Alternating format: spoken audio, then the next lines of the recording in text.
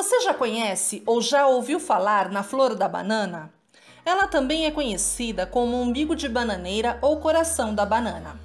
É uma flor que é retirada onde nascem os cachos de banana enquanto as bananas ainda estão verdes. O que poucos sabem é que essa flor da banana é muito saudável.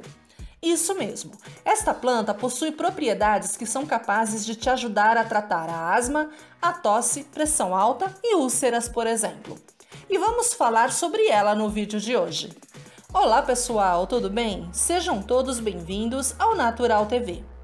Para começar, o que você acha de falarmos sobre alguns dos benefícios desta flor? A flor da banana é rica em carboidratos e nutrientes que ajudam a saciar a fome. Ela ainda possui flavonoides, que são antioxidantes que trabalham para neutralizar os radicais livres, eliminando os danos oxidativos que são os causadores do câncer. Ela é rica em fibras, proteínas e minerais, como o magnésio, que além de ajudar a saciar a fome, também ajudam a melhorar o humor e diminuir a ansiedade.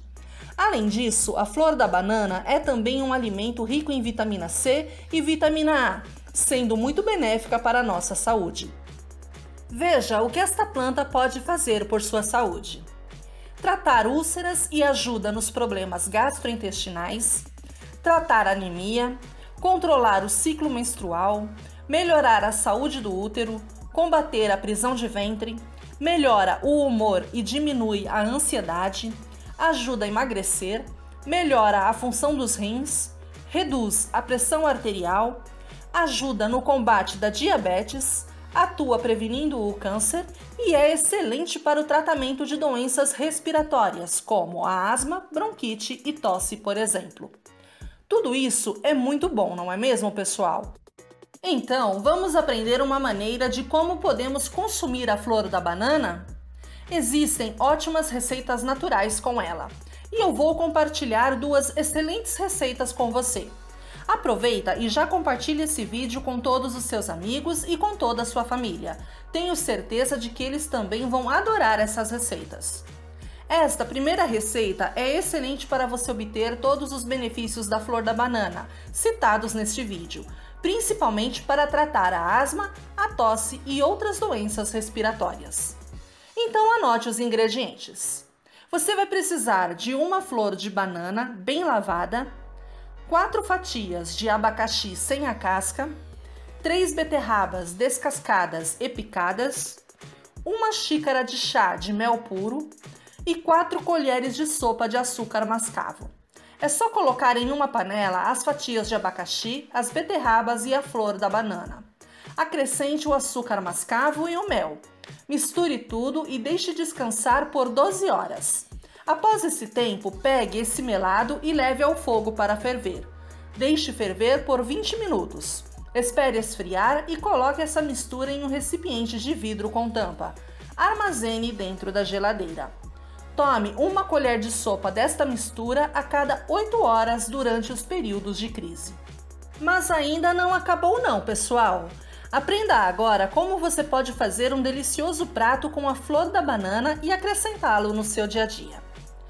Anote os ingredientes: 2 tomates médios picados, 2 colheres de sopa de azeite de oliva, 2 colheres de sopa de semente de mostarda, uma colher de sopa de cebola picada, uma colher de sopa de pimentão picado, dois dentes de alho bem picados, uma pitada de açafrão da terra em pó, coentro picado e sal a gosto.